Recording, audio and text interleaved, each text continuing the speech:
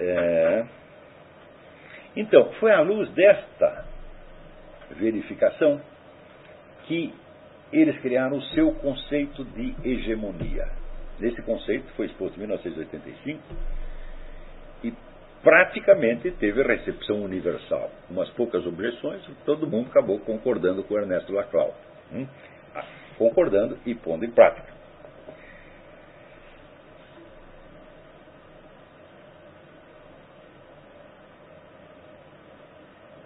Então ele diz que graças a esta dissolução do, da, da imediatez e a esta instauração da superioridade absoluta do discurso, da mediação discursiva, foi possível criar a noção de que uma nova noção de hegemonia baseada em que um elemento particular, quer dizer, um grupo particular, adquire uma significação estruturante universal, sem que nada nesse, nesse grupo ou nesse elemento predetermine essa função.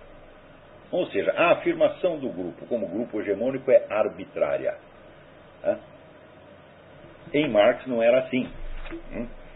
Em Marx, o proletariado podia ter a hegemonia por quê? Porque o proletariado era quem metia as mãos na massa. O proletariado tem nas mãos as forças de produção. Então é uma relação material que o proletariado tem com a natureza circundante que pode lhe dar hegemonia, porque a relação do burguês com o mundo material é apenas simbólica, simbólica, jurídica, administrativa, etc. Mas o proletariado tem as forças de produção na mão. Então, por isso, o proletariado tinha os, vamos dizer, a condição objetiva para ele se tornar hegemônico. Hum? Aqui, segundo Laclau, não. Não é preciso que nada nesse elemento, nesse grupo, o predetermine como hegemônico. Porque é uma operação que se dá, agora, não na esfera material da sociedade, mas no puro elemento discursivo. Hum? Estão acompanhando? Muito bem. Então, isso torna possível pensar em transições hegemônicas que são inteiramente dependentes das articulações políticas e não de entidades constituídas fora do campo político. Você veja, em Marx, o partido era uma articulação política construída com base numa articulação extrapolítica, numa articulação socioeconômica. Ou seja, a posição real do proletariado no processo de produção. Agora eles não precisam mais nada disso. Porque se, se o campo social todo é compreendido como um campo discursivo, apenas discursivo, se a mediação discursiva encobre ou elimina completamente o referente, só há um problema: dominar o discurso. Então, um grupo pode se oferecer se apresentar como hegemônico, ou seja, como representante da universalidade, sem que nada objetivamente o determine como tal. É? Então, o grupo se torna hegemônico simplesmente porque ele decreta sua própria hegemonia. E mais ainda, ou seja, esse grupo não precisa ter nenhuma característica que dependa de elementos fora da política. Por exemplo, o interesse de classe.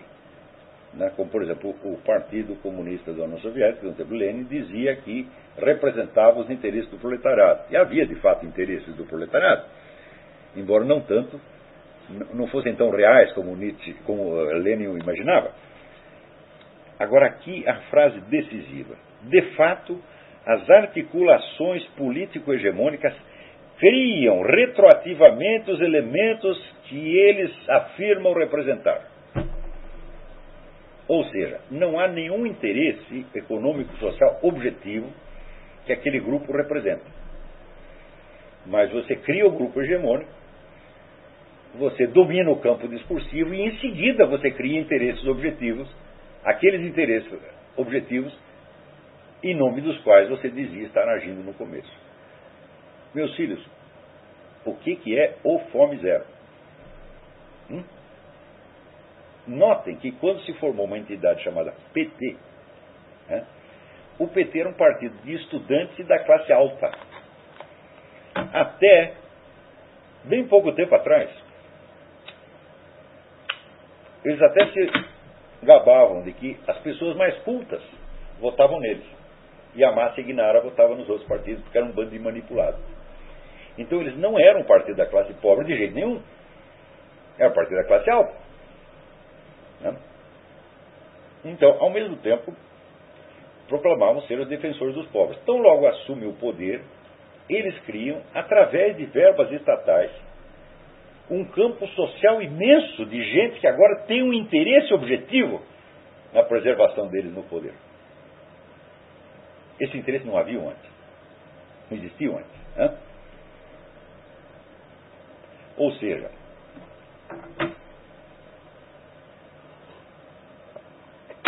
as pessoas se tornam eleitoras crônicas do PT não porque pertencessem a uma classe cujos interesses o PT objetivamente representasse antes, mas porque agora se criou uma rede de interesses hum, que os induz a sustentar no poder aquele grupo que os articulou como interesse social a partir da articulação política. Isso está em prática no mundo inteiro. Hum?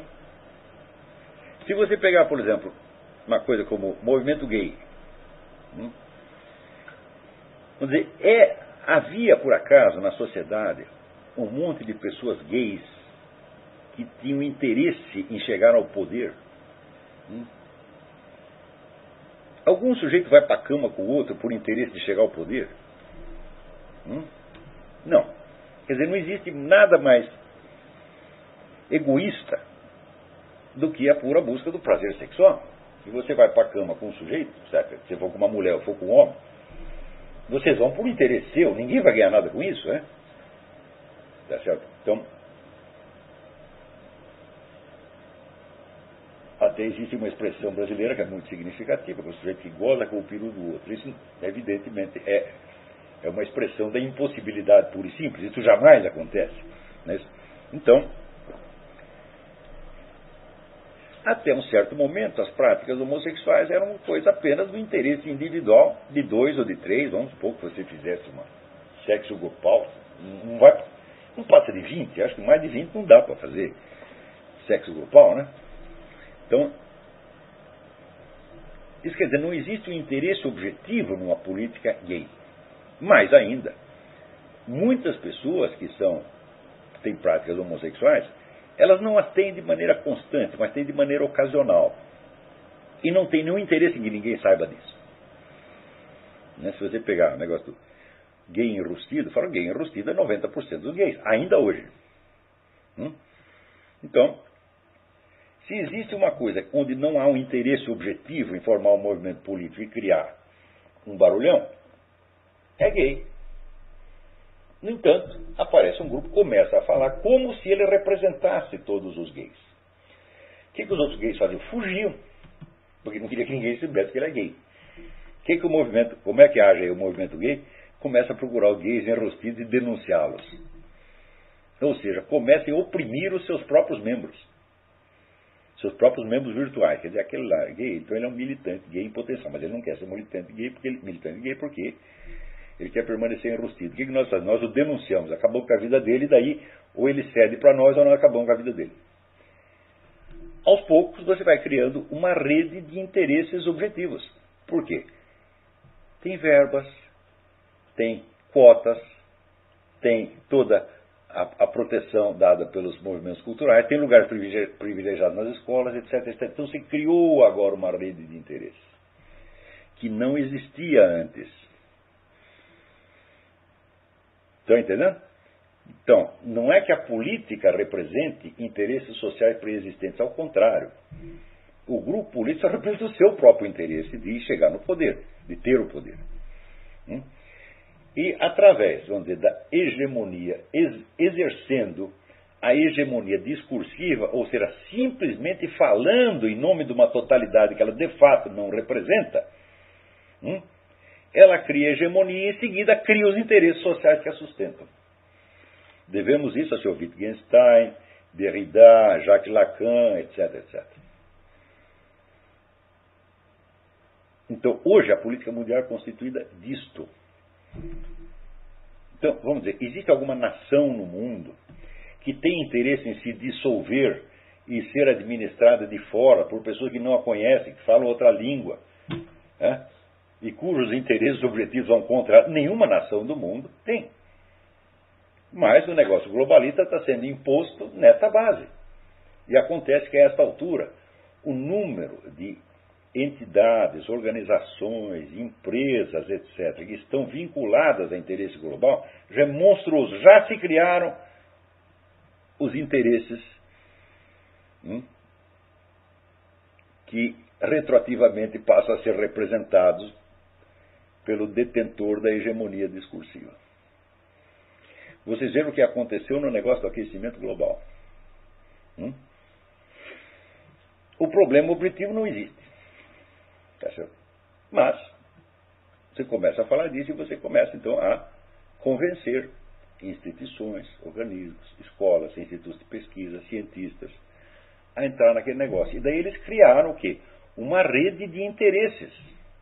E agora essa rede de interesses não pode mais voltar atrás e dizer não, não tem aquecimento global nenhum. Ou então, existe aquecimento global, mas não é de fabricação humana. Eles não podem mais voltar. Então eles se dispõem, inclusive, a arriscar suas carreiras científicas, jogar suas carreiras científicas fora, para defender esse interesse. Interesses que antes não existiam de maneira alguma. Ora, é evidente que quando a gente começa a viver numa atmosfera dessa, nós estamos numa atmosfera de hospício, evidentemente. Hum? Em que tudo virou profecia autorrealizável. Não existe mais interesses sociais objetivos que possam ser representados na política. A política se torna uma fabricação retroativa de interesses inexistentes. E tão logo se tornam, vamos dizer, existentes, eles consolidam essa, esta hegemonia. Então, esta foi a teoria inventada por esses dois em 1985. Simultaneamente, estava lá aquela dupla, Cloward e Piven, inventando a estratégia, que veio tomar o nome dele, estratégia Cloward Piven, da qual eu escrevi num artigo alguns meses atrás no, no Diário do Comércio. A estratégia deles era criar uma crise, criar uma situação revolucionária. Esse era o objetivo. Como fazemos isso? Então eles viram o seguinte: viram que da Previdência, a Previdência Social tinha lá uma lista de é, direitos e uma lista das pessoas que poderiam reivindicar aqueles direitos. E os caras descobriram que das pessoas que teoricamente poderiam reivindicar aqueles direitos, apenas dois ou três estavam 2 ou 3% estavam ali na lista da Previdência. Por que, que os outros não estavam? Porque não precisavam, evidentemente. Você tem, teoricamente, certo direito, mas você não precisa. Hum? Assim como, por exemplo, eu tenho direito à aposentadoria de jornalista. Já tenho há mais de 10 anos. Mas eu não preciso dela, então não vou buscar. Hum? E não estou ligando para isso. Porque ela vai me dar muito trabalho, é muita papelada, e ela embaixo, vocês, né, tem tanto velhinho doente aí, dá o dinheiro para eles, eu não quero. Hum? Mais ainda nos Estados Unidos, onde as pessoas têm toda essa tradição, vamos dizer, de, de, de autonomia individual, de se fazer por si mesmo, etc, etc. Então a maioria não ia. E Claude Parvin descobriu o seguinte: se a gente conseguir pegar pelo menos 50% dessas pessoas que têm direito, mas que não estão na Previdência Social, e nós as inscrevemos na Previdência Social, a Previdência Social vai cair, porque ela não tem dinheiro para sustentar isso. E daí nós criamos uma crise social. Eles inventaram isso e fizeram. Só que agora é o seguinte: essas pessoas já estão inscritas né? e agora elas querem mesmo esses benefícios. Né? Benefícios que vão muito além da mera sobrevivência e assistência médica. E assim, olha, é, tá lá um sujeito perrapado, sem emprego, sem nada, ele tem direito a comprar uma casa de 240 mil dólares, financiada pela Previdência. Ele tem direito a trocar de carro todo ano. Ele tem direito a mais isso, mais aquilo, mais aquilo, mais aquilo. As pessoas não queriam esses direitos, mas agora elas querem. Então você criou retroativamente né, uma rede de interesses que você no começo afirmava representar. Você não representava ninguém, era apenas um grupo de, de agitadores. Praticamente todas as políticas que estão em curso no mundo são deste tipo.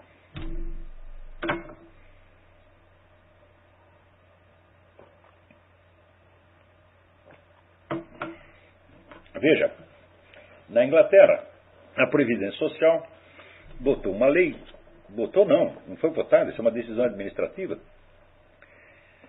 de que o sujeito seja muçulmano e tenha quatro mulheres, ele tem direito à pensão para as quatro mulheres. Hum? E pior, a pensão não é entregue para as mulheres, é entregue na mão dele. Se ele quiser torrar todo dia, ele torra. Vocês imaginam o número de pessoas que a partir daí se declaram muçulmanas para ter direito a quatro pensões. E quando esse número alcança um certo volume, temos aí um interesse montado. Agora não dá para voltar mais atrás. É assim que se faz as coisas hoje em dia. Ou seja, o número de pessoas que estão se oferecendo para resolver problemas inexistentes, para representar categorias sociais inexistentes e que retroativamente criam então os interesses que as mantêm no poder, é imenso. Vocês vejam, então, o efeito letal que filosofias falsas e fraudulentas têm a longo, prazo, a longo prazo, gente. Veja que nenhum desses camaradas, nem Wittgenstein, nem Heidegger, etc., etc., jamais pôde ser cobrado mediante o confronto entre o que ele está escrevendo e a sua experiência real. Ninguém lhes perguntou, por exemplo, essa pergunta que eu fiz aqui: como você tomou conhecimento da existência de discurso sem ter acesso a uma coisa em, coisa em si mesma, uma coisa pré-discursiva chamada som? Ninguém, nunca perguntaram isso. E quando é a pergunta é elementar, né? quer dizer, você se examinar a si mesmo, examinar a sua própria história, como eu estou fazendo aqui, é e ver como que as minhas ideias foram chegando na minha cabeça. Claro que isso aqui, dizer, eu começo só na, na, na idade adolescente, tá e não estou narrando, estou só botando os nomes dos capítulos. Né? Quer dizer, se eu fosse escrever uma autobiografia intelectual, teria que passar por tudo isso aqui, mas teria que recuar antes, mencionar o negócio da liturgia, e antes da liturgia, outras coisas que eu fui percebendo antes, como por exemplo aqueles depoimentos que eu coloquei no blog Filósofo Mirim, né? o nome do filósofo Mirim. Eu teria que saber de onde eu tirei minhas próprias ideias, desde vamos dizer, do substrato existencial. As pessoas nunca fizeram isso. Hum? Então quer dizer que elas consagraram a paralaxe cognitiva como se fosse uma obrigação. E a estão impondo como norma.